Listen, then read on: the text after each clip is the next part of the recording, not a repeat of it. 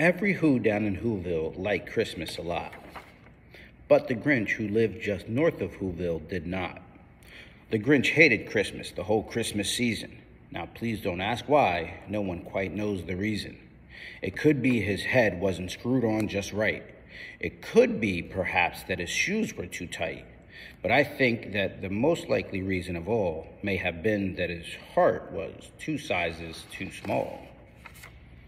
But whatever the reason, his heart or his shoes, he stood there on Christmas Eve, hating the Who's, staring down from his cave with a sour, grinchy frown at the warm, lighted windows below their town. For he knew every Who down in Whoville beneath was busy now hanging a mistletoe or wreath and they're changing their stockings, he snarled with a sneer. Tomorrow is Christmas. It's practically here. Then he growled with his Grinch fingers, nervously drumming. I must find some way to stop Christmas from coming. For tomorrow, he knew, all the Who, girls and boys, would wake bright and early. They'd rush for their toys. And then on the noise. Oh, the noise, the noise, the noise, the noise. That's the one thing he hated the noise, the noise, the noise. Then the Who's, young and old, would sit down to feast, and they'd feast, and they'd feast, and they'd feast, and they'd feast, and they'd feast. They would feast on Who pudding, a rare Who roast beef, which was something the Grinch could stand the least. And then they do something he liked least of all. Every Who down in Whoville, the tall and the small, would stand close together with Christmas bells ringing. They'd stand a hand in hell, and the Who's would start singing. They'd sing and they'd sing and they'd sing, sing, sing, sing. And the more the Grinch thought of this Who Christmas sing, the more the Grinch thought, I must stop this whole thing. Why? For 43 years, I put up with it now. I must stop this Christmas from coming, but how? Hmm, then he got an idea, an awful idea. The Grinch got a wonderful, awful idea. I know just what to do, the Grinch laughed in his throat, and he made a quick Santa Claus hat and a coat. And he chuckled and cluckled, what a great Grinchy trick. With this coat and this hat, I'll look just like St. Nick. All I need is a reindeer. The Grinch looked around, but since reindeer are scarce, there was none to be found. Did that stop the old Grinch? No, the Grinch simply said, If I can't find a reindeer, I'll make one instead. So he called his dog Max. Then he took some red thread and he tied a big horn on the top of his head.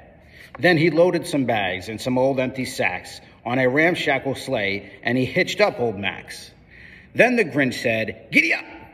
And the sleigh started down toward the home where the Who's lay a snooze in the town. All the windows were dark, quite snow-filled with air, quiet snow-filled the air.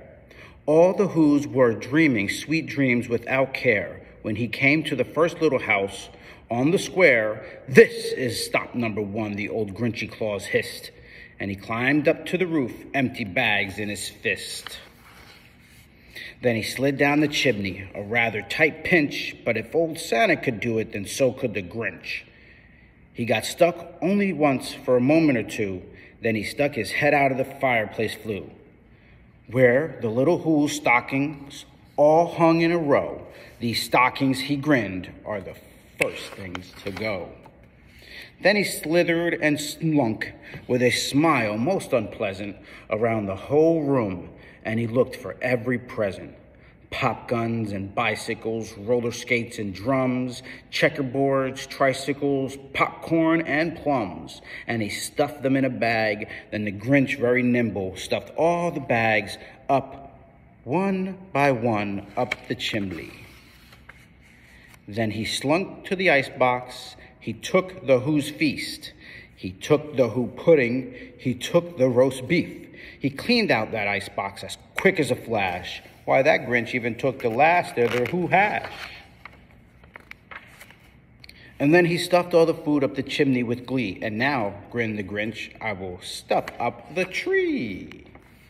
And the Grinch grabbed the tree and he started to shove. Then he heard a small sound like the coo of a dove. He turned around fast and he saw a small little Who, little Cindy Lou whoo, who was not more than two. The Grinch had been caught up by this tiny who daughter who'd got out of bed for a cup of cold water. She stared at the Grinch and said, Santa Claus, why? Why are you taking our Christmas tree? Why? But you know that old Grinch was so smart and so slick, he thought up a lie, and he thought it up quick. Why, my sweet little tot, the fake Santa Claus lied. There is a light on this tree that won't light on one side. So I'm taking it home to my workshop, my dear. I'll fix it up there and I'll bring it back here. And his fib fooled the child, and he patted her head, and he got her a drink and sent her to bed. And when Cindy Lou Who went to bed with her cup, he went to the chimney and stuffed the tree up. Then the last thing he took was the log for their fire. Then he went up the chimney himself, the old liar. On their walls he left nothing but hooks and some wire. And one speck of food that he left in the house was a crumb that was even too small for a mouse. Then he did the same thing to the other whose houses, leaving crumbs much too small for the, for the other whose mouses. It was a quarter past dawn. All the whos were still abed.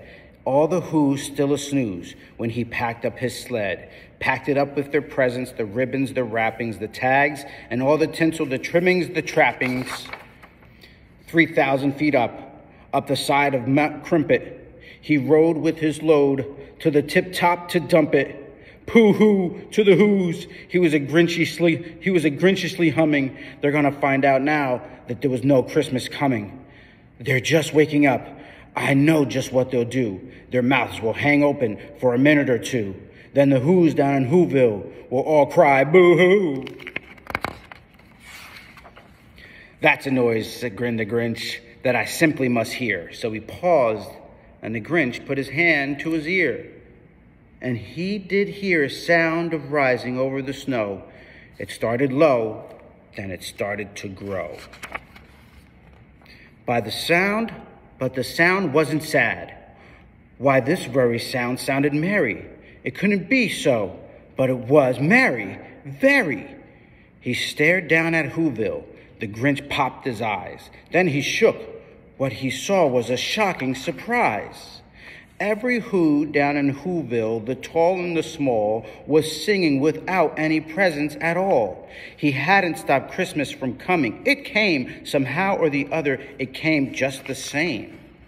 And the Grinch, with his Grinch feet ice cold in the snow, stood, stood puzzling and puzzling. How could it be so? It came without ribbons, it came without tags, it came without packages, boxes, or bags, and he puzzled three hours till his puzzler was sore. Then the Grinch thought of something he had not before. Maybe Christmas, he thought, doesn't come from a store. Maybe Christmas, perhaps, means a little bit more. And then what happened? Then, well, in Whoville's, they say that the Grinch's small heart grew three sizes that day. And the minute his heart did feel quite so tight, didn't feel quite so tight, he whizzed with his load through the bright morning light. And he brought back the toys and the food for the feast. And he, and he himself, the Grinch, carved the roast beef.